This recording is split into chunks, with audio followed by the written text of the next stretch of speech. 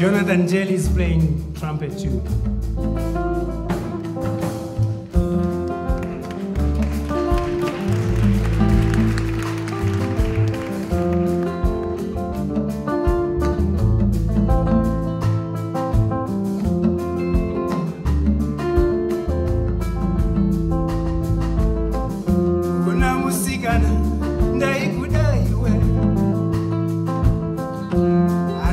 wandirasisa iwe chisikana hawakandirasisa asini ndaikuda ona musikana iri ndaikuda iwe asi wakandirasisa